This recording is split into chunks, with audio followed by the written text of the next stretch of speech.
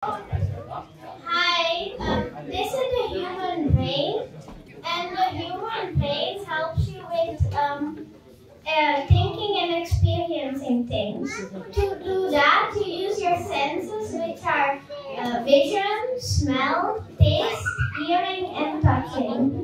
The brain has six different parts: the brainstem, the temporal lobe, the frontal lobe,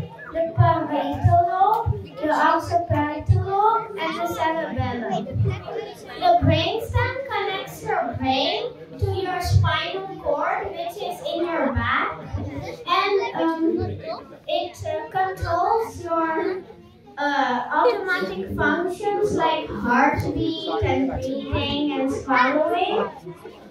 The temporal lobe is responsible for uh, visual memory, language, and uh, emotion.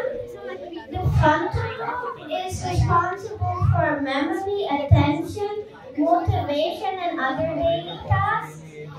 Uh, is responsible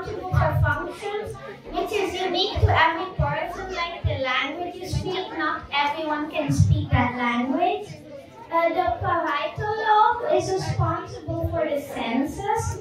The occipital lobe is responsible for vision with color, form, and motion. The cerebellum is responsible for balance, walking, and speech.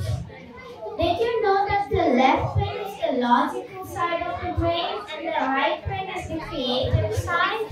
But that doesn't mean you only use one. You always use them both.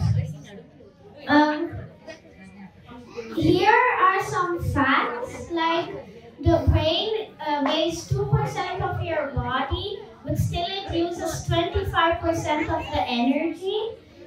And uh, if you have a big brain, that some if you have a bigger brain than someone else, that doesn't mean you're smarter. Good catch. And uh, the brain weighs 1.5 kilograms, and if you didn't have a brainstem, you wouldn't feel pain. Um, I have at the back a few riddles, and uh, you can try solving them and see if your brain can handle them. Uh, good luck. Thank you for listening. Thank you. Thank you so much.